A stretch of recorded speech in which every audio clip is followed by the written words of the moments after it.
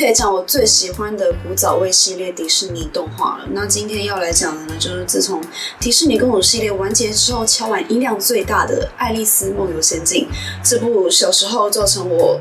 心理创伤的强片，《爱丽丝梦游仙境》是迪士尼的第十三部动画长片，它的前一部是《仙女奇缘》，刚帮助迪士尼从票房失利低潮中大回血一波。华特迪士尼对于爱丽丝抱有多高的期望可想而知，而且他本来就想拍这故事好多年了。事实上，他还没有创立迪士尼动画工作室之前呢，在别间公司他就已经有做过以爱丽丝为主角发想的短片。华特迪士尼还是一个二十一岁的菜鸟动画师的时候呢，他曾经在一间叫做 Love of Brands 的动画公司上班，因为他本人是爱丽丝梦。某些系列原著的大粉丝，所以他就拍了一支结合真人和动画的短片《Alice Wonderland》，描述真人小女孩爱丽丝进入动画世界冒险的故事。那虽然这间公司在短片试出之前就倒闭了，华特迪士尼还是拿这支短片作为 demo 作品，终于成功找到一间愿意投资发行的厂商。这部作品发展为系列影集《Alice Comedies》，主角依然是真人小女孩爱丽丝，并加上一只叫做 Julius 的动画猫。之后，这个动画团队呢正式发展为华特迪士尼动画工作室。所以你可以说爱。《爱丽丝梦游仙境》就是这间公司的起点了。华特迪士尼是一早就决定一定要把爱丽丝的故事变成一部电影。在一九三一年的时候，他终于用 Tennis Illustration 买下了原著版权，当时也是打算拍成真人结合动画电影。这计划却因为被拍红在一九三三年捷足先登，先拍了一部真人电影的暂时作罢。那他有没有因此就放弃，一直把这个计划放在心里，默默着手进行，直接把这个作品动画化的制作作业。对，即便已经做了五十七集的爱丽丝系列动画，华特迪士尼还。是很坚持，一定要做《爱丽丝梦游仙境》。连爱丽丝的小女孩都已经换了五代，她还是想要做出她心中最完美的二次元萝莉。糖、香料，还有美好的味道。这些就是被选来制造完美小女孩的必要成分。一九三八年出版《Story》出现，但是里面的爱丽丝呢，都看起来太过接近原著中 John Teniers 的插画，线条太复杂了，很难动画化。那初期的剧本也太黑暗了，迪士尼就打枪了这个版本。伴随着二战的到来和幻想曲啊、小鹿斑比啊、木偶奇遇记这些。更有执行可能性计划出现，爱丽丝的制作计划又暂时被延后了。伴随进入二战后资源匮乏，加上上述这些作品都卖不好，直到一九四五年，华特迪士尼才终于又重拾了这个拍摄计划，请来新的美术 Mary Blair 为这部电影画风定调，解决出版艺术概念线条太复杂的问题，用色也比较活泼鲜艳，更有先进的感觉。于是整部电影的调性就被定位为更迪士尼风的喜剧加音乐剧感。提到 Mary Blair，她也是迪士尼这间公司内部的一个传奇人物。他经手过非常多迪士尼经典作品，除了《爱丽丝梦游仙境》，还有《彼得潘》呐，《仙女奇缘》。那他的风格呢，非常的突兀，就是线条很鲜明，用色很跳，有些抽象几何的笔触。在当时非常受到华特迪士尼的喜欢，也重新定调了迪士尼往后动画的画风，跳脱现实，很天马行空。华特迪士尼有多喜欢，多重用它呢？重用到连迪士尼乐园里面的设施都要交给他设计。他有个非常有名，去过迪士尼乐园的人都一定知道的作品，就是《小小世界》。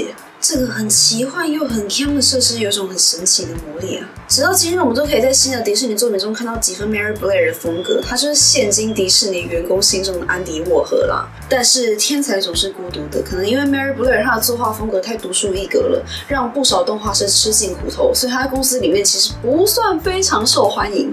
大家每次看到画的艺术概念，都会哎，白痴，玛丽太难了，这样怎么做动画？哎，你们有看到最近玛丽画的彼得潘了吗？看来我们最近要疯狂加班了哦，好棒哦！我我也我也不知道为什么我要做这样的 impression。于是《爱丽丝梦游仙境》制作呢，是一直到一九四六年才正式开始。整部电影采取跟《仙女奇缘》一样，先由真人小女孩 Catherine Bowman 演出，在动画描线捕捉的方式。另外，也因为《仙女奇缘》很成功的关系，迪士尼得以找来最顶级的制作还有配音配乐阵容为这部电影贡献，有着集结一流人才的高品质制作水准。而虽然电影最后定调是要俏皮可爱，出版由画师 David Ho 设计的素材呢，还是有被应用在后来的电影里面，帮本片增添了原著特有的诡异荒唐感。但这部电影上映之后反应却不如预期。首先是书迷不满书中大半角色像是空龙啊、狮鹫啊、角海龟几乎都没有出现在电影里面，把英国文学中的梗都拿掉，迎合美国观众品味也是批评的重点。无法取悦原著粉丝之外呢，也找不到可以理解爱丽丝这个角色的观众群。因为这部电影跟以往迪士尼电影很不一样，主角没有明确的目标，也没有所谓经历一连串冒险或成长之类的。那故事就只在描述一个小女孩睡着然后做了一个梦。大家看完。之后就是搞不懂他想要表达什么，只觉得是一部很奇怪的电影。这部电影在一九五一年上映的时候卖的不好，只因为它生不逢时，因为它在六零年代重映的时候表现的非常好，因为那正是美国药物文化崛起的年代。就像上次重看《睡美人》影片里面讲的，这部电影呢在六零七零年代重映的时候也是表现的很好。当时年轻人呢就是会配着大麻、迷幻药服用这两部电影。也因为这部电影实在是太强了，一直都有人在怀疑它其实是在讲药物成瘾者的故事。但其实这样猜测开普遍的也是在药物使用盛行的六零年代才出现，证明你心里想什么，看到的就是什么这件事情。还有人想要去证实当年作者路易斯卡罗他在创作《爱丽丝》的时候是不是真的刻了什么？那回顾十八世纪呢，也就是这本书创作背景比较常见的毒品是鸦片。但是根据一些回忆录呢，路易斯卡罗他是个老实憨厚，在大学教数学的教授，低调保保守，支持他的人呢，从来都不觉得他会嗑药。当然不排除还是有可能性，只是这项臆测终究也只能是臆测了。那这也不是这部作品第一次被这样想歪。早在他非常畅销的十八世纪呢，就有人在怀疑作者路易斯卡罗是一个喜欢萝莉的。恋童癖，这是因为呢，爱丽丝这故事的发想来源是因为路易斯卡罗他非常喜欢小孩子，常常跟小萝莉混在一起，然后时不时就会讲故事给他听。爱丽丝这个角色呢，就是跟他非常要好的一个他朋友的女儿为灵感发想的角色。那可能因为他的性格比较安静神秘的关系，人们就喜欢对他有些猜想，因为大家可能就会觉得这么木讷、老实、安静的人，怎么可能想得出爱丽丝这么甜的故事？一定是有嗑药。或者是心理变态，你知道人们就是喜欢靠贴标签去简化一些他们无法理解的事情。一个有萝莉控的人幻想出这样子的故事，到底从何可以获得满足呢？对了，一定是这个故事里面藏有很多性暗示吧？这样的理论当然也是出现过的，像是爱丽丝掉进兔子洞里呀，拿钥匙开门呐，遇到一只棒状的。毛毛虫啊，爱丽丝一直变大、变小、变长、变短的，就是好像也看起来哪里怪怪的哦。只要有心，什么事情都可以想歪。那其实《爱丽丝梦游仙境》中出现的谜语呢，和一些看似有隐喻的东西，其实大多都是没有答案的。有些是连作者本人都不知道。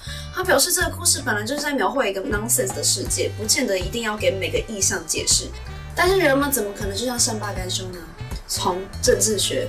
到心理印象，自古以来，大家一直很努力的想要去合理化这个奇妙的仙境。举例让很多人留下童年阴影的海象与木匠这个故事，描绘海象和木匠串通好欺骗小牡蛎上岸，最后海象自己把小牡蛎吃光光的故事。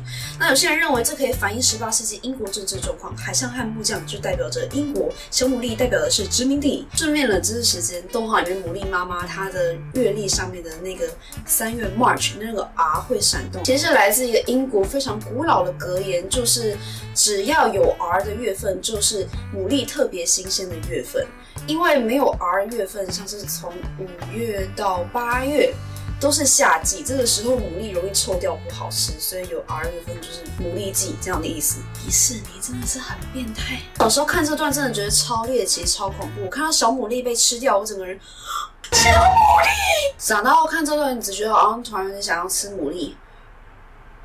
回归到爱丽丝，虽然整个故事主线除了找到白兔都没有赋予她一个明确的目标。我们看完电影之后也不确定她到底经历了怎样的成长，但她依然是个没有趣的角色。事实上，成年人可能更可以理解爱丽丝的好奇心是如何害到她，又是如何让自己越来越迷失。片中爱丽丝唱的那首《Very Good Advice》就提到她是如何给自己很多很棒的建议，却从来不追随自己该做的事。或许爱丽丝梦游仙境不见得暗藏什么值得被歌颂的人生启示，却是某种程度反映了你我内心都曾经有过迷茫还有恐惧吧。以上是对《爱丽丝梦游仙境》这故事的分享了。其实你真的要去查的话呢，真的可以看到非常非常多自古以来对于《爱丽丝梦游仙境》这个故事这个文本的各式各样的解说方式。但当然是没有绝对的答案，就是怎样的人就会看到怎样的讯息。我长大之后再看一次，我觉得没有小时候印象那么可怕了。那确实也解读到了一些我觉得还蛮有意思的东西。强烈推荐大家也可以去重看一次，可以配个就是酒啊或什么之类，不要嗑药，不要嗑药，嗑药不好，不要嗑药。就是可以配个酒啊，小酌一下，然后看这部电影，其实是感受还蛮强烈的。一样，欢迎留言告诉我，下次希望看到讲哪一部迪士尼电影。那今天的影片就到这边啦，我们就下次见啦，拜。